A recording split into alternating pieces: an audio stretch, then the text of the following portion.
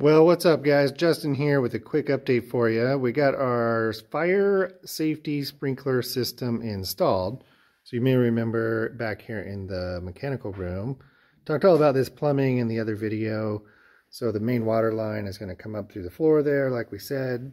This is going to tee off and go over the house supply. And we told you we had this stub left here for the sprinkler system. So that has now been connected.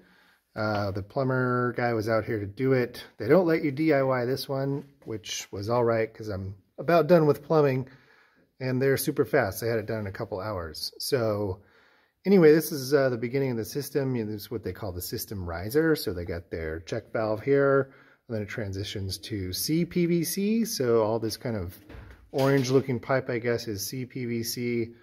It kind of tees out to a purge valve right there, as well as a pressure gauge, and then it continues up through the mechanical room. The first sprinkler is right there in this room, because uh, we're required to have one there.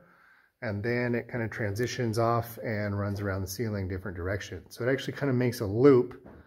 Uh, you can see it goes that way towards the living room, the sprinkler spacing is all kinds of rules about how far it can be from this and that. So it's kind of the other reason I guess it's good to have someone else do it. Anyway, it kind of comes back this way.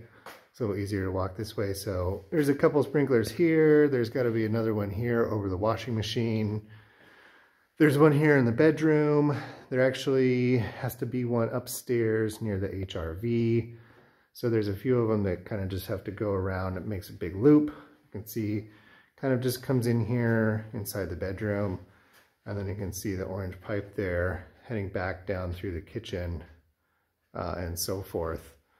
So all in all, it's uh, not our favorite thing. Most people, I guess, don't like having sprinkler systems either.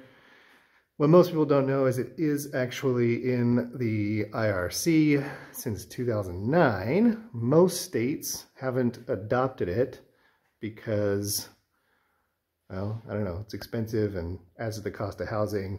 California is one of them, Maryland is the other. Uh, it's worth noting another thing about the way the system works right here.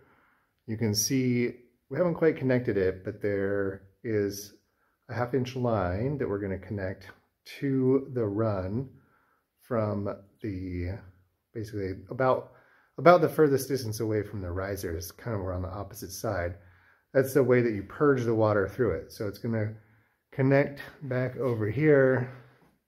This PEX line is going to come down, and that's what feeds the toilet.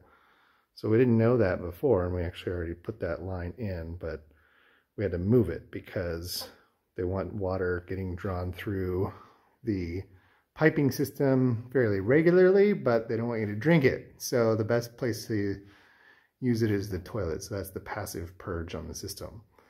Anyway, it keeps coming around here and uh, a couple more sprinklers eventually comes back and then makes the loop back around into the mechanical room. So that's how it works. Have to have it.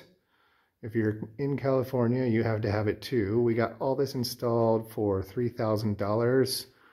All in all, not a bad deal, I guess. Uh, the guy told me he has heard people telling him they got quotes for four times that amount. So depends on the size of the system, obviously, but can be expensive.